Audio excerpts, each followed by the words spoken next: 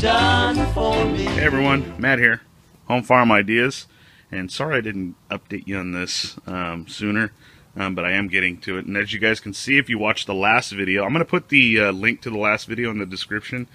Um, but basically, I pruned my uh, zucchini plants, and um, as you can see, there's still some leaf mold coming through, but that's kind of to be expected. As long as you're getting new growth, which I am, um, then I'll be fine. So, um, and so I trimmed both sides. I should have got this side more on the other video, but basically, you know, it was up to here um, with uh, growth, but the leaves were already getting moldy. And so this is one of the fixes for leaf mold. Um, you're never going to avoid it all the way, uh, but this is what I do. I prune heavily. I just let it go to mold and then I prune heavily and then bam, you get uh, brand new growth and you start to get new fruit. And as you can see down there, I already got new zucchinis coming in. See there? Uh, let me see if I can get a better shot of that. There we go. So, and then there's one on the bottom there that's into the dirt. That's a male flower right here. That's a female flower right there. Okay, and so, yeah, we're getting new leaves and stuff. And so it, it works. You basically can prune your zucchini plants, and I've done this every year. You can prune your zucchini plants and you can get brand new growth out of it.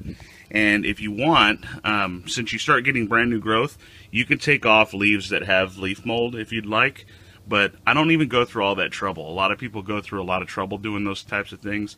And, um, well, anyway, where I'm from, I mean, it's overcast a lot. And uh, so I don't, I don't I don't basically I don't do anything other than just prune them.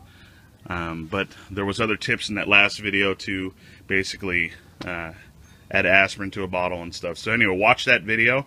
Um, please give us a thumbs up on this one and thumbs up on the last one. And uh, I look forward to hearing any questions or comments you guys might have. Make sure to post them below.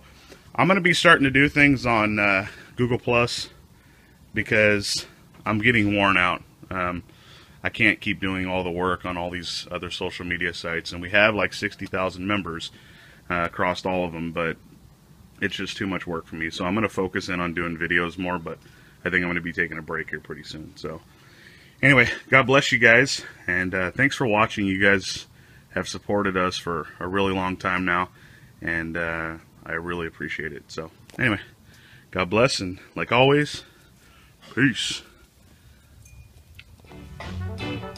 Thank you, Lord, for what you're doing now.